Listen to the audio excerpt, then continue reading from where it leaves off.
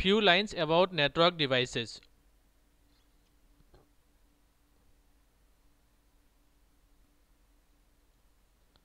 A network device is a hardware device that is used to connect computers, laptop, smartphone, printer, scanner with one another. Some network devices are router, hub, switch, access point, modem,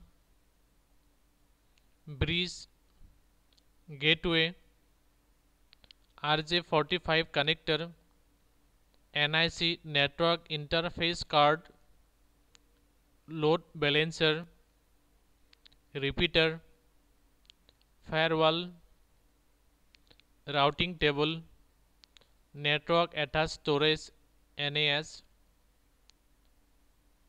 Ethernet card,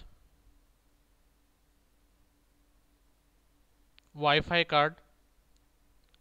This is the some network devices.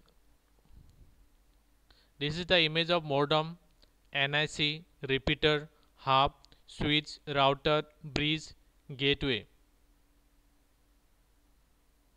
This is the few network devices.